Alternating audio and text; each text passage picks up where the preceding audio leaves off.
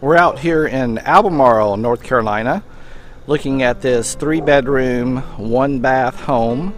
One bedroom downstairs, two bedrooms upstairs. Let's go inside and take a look.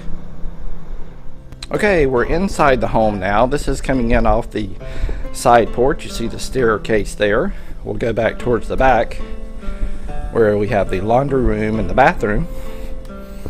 Laundry room, new flooring put down recently. As you can see, it's got a nice flat yard back here with the porch. Replacement windows there. We'll take a look here in the bathroom.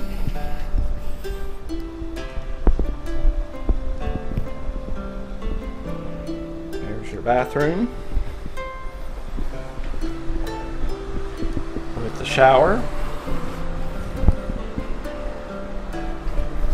Shower does have a seat in it. We'll come back through and go back over towards the kitchen. It is a nice large kitchen.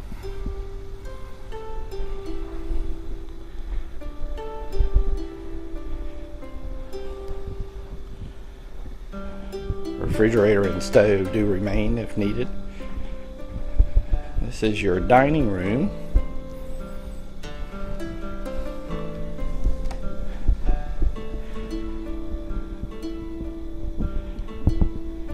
And across the way is the um, front living room, currently being used as a bedroom.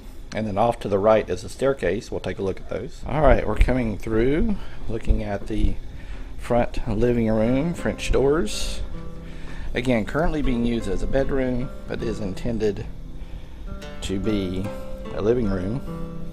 Got the skinny pine floors here and in, in the living room.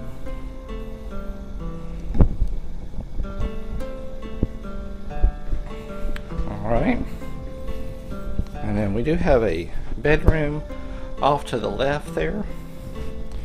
Currently it's being used as a storage room. So there's a bedroom with a closet. And let's go take a look upstairs.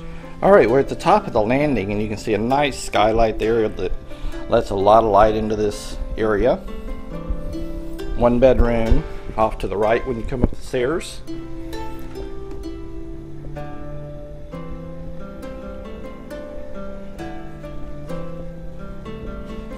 And then the other bedroom across the hall.